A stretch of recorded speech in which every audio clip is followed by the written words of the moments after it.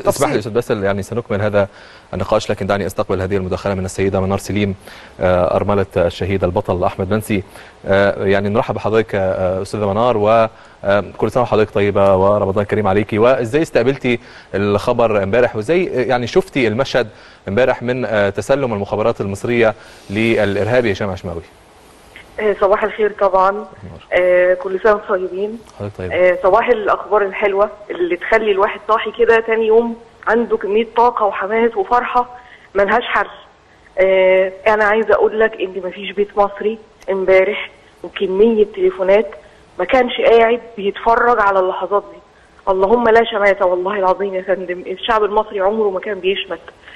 احساسك إن حقك بيرجع إحساسك إن البني آدم ده مهما طال بيه الزمن هيقف قدام القضاء وهيجي لك حقك.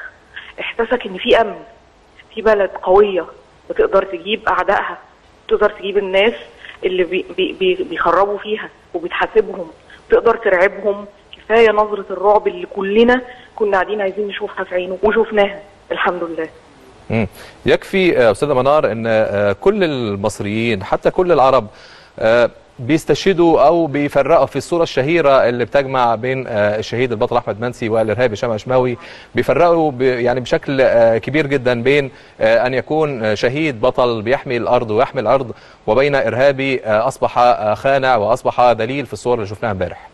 طبعا طبعا. وده بيقول لكل الناس وكل الشعب المصري وكل الشعوب عندكم اهو نموذج والشعب المصري ما شاء الله عليه ما بينساش. مفيش حاجة بتحصل في حياته بتتنسي. عندكم نموذج لشخص خرج من نفس المكان وخد نفس كمية ال- ال- الحاجات اللي تخليه يحب بلده وده خرج بيحب بلده وبيحافظ عليها ويقدر يضحي بروحه عشانها وده خرج كل غرضه إن هو يموت في زمايله ويموت في الناس الأبرياء ويفجر ويخرب في بلده. فده ده بقى للناس هيفضل طول عمره على مر التاريخ في وجدانهم في تفكيرهم مش هينسوه. آه، عشان يبقى عبرة بعد كده.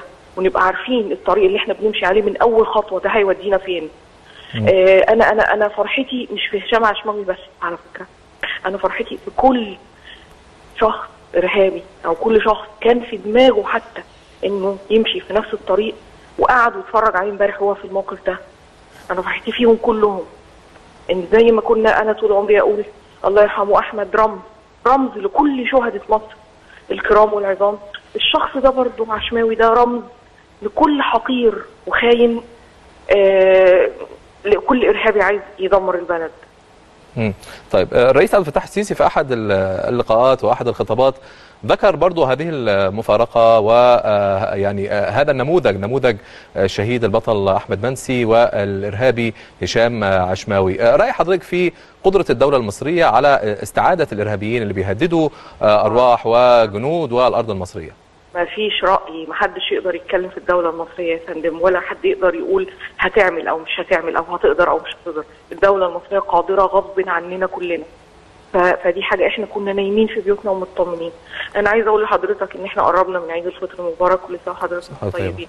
وبالمناسبة تقريبا دي نفس الفترة اللي أحمد استشهد فيها من سنتين هو استشهد بعد العيد على طول.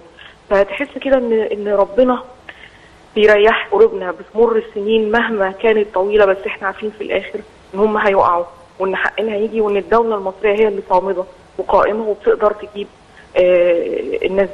آه لما لما سيادة الرئيس عبد الفتاح السيسي اتكلم عن عنه أو عمل أو عمل مقارنة أو مفارقة آه ده كمان آه حسسني إن إن الدولة كلها من من أكبر شخص فيها اللي هو سيادة الرئيس. لأي مواطن حتى عادي مصري في الشارع كله آه، عارف أو بيرد الجميل للشهداء كلهم وعارف يعني إيه شهيد ضحى بدمه ومش ناسيه وإن الدولة المصرية كلها مش ناسياه مم. طيب الحمد لله. إيه اللي- ممكن تقوليه لزوجات وأهالي وأبناء الشهداء اللي راحوا طبعا ضحية هذا الوطن؟ أقول لهم اصبروا أقول لهم آه، أنتوا أنتوا صحيح كلنا فقدنا حاجة يعني عمود البيت خلاص هي ملهاش معنى تاني غير كده. فقدنا حاجة كبيرة قوي وعزيزة عن عندنا وغالية.